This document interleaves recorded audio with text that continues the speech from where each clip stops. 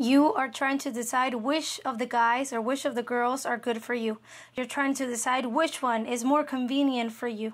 That's what I'm saying because I know that for a lot of you, you like to date a lot of people or maybe you just you're unsure and there's two people or even more in your situation and you're trying to decide who is the person for you.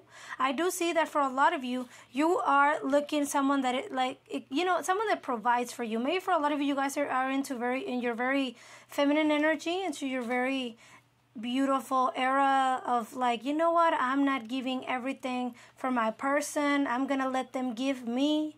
This could be that maybe for a lot of you you've been in relationships where you have like they have taken advantage of you and now you want to like put you want to see what they have to bring what they have to give you. But for a lot of you you're you're like okay which one? Which one? I see that for a lot of you you are talking to this person online. Maybe you met them on social media. Maybe you saw like a app. Maybe you met them on an application or something.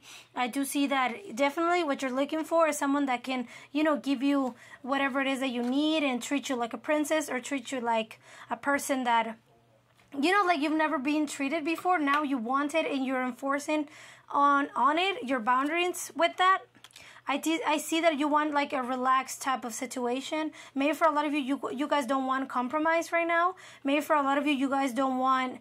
But you're trying to decide though. You're trying to decide which is the person that you like the most. Uh, even though you don't want compromise right now and you don't want like a serious relationship right now, it could be that you're gonna get into it because uh, for a lot of you, you guys like are maturing along with that person. Your relationship is maturing along with you know how time passes by. So you're maybe you're invested in these two persons. You really like them, but you don't know which one is the best for you.